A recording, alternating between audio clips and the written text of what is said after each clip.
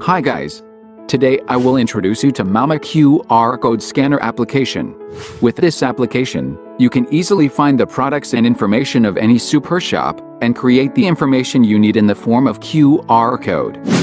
How to download the application.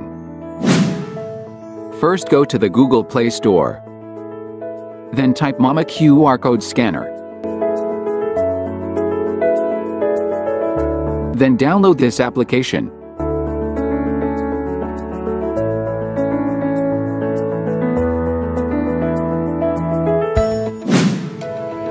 Click on this option to scan any product in general.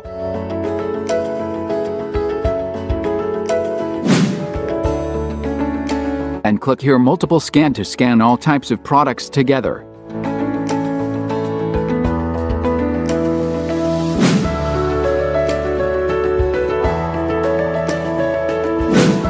How to generate barcode, and how to keep your personal information confidential.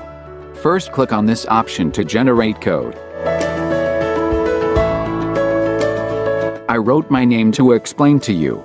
Here you can create a QR code or barcode by entering your personal information or necessary things. And save by clicking the Save button above.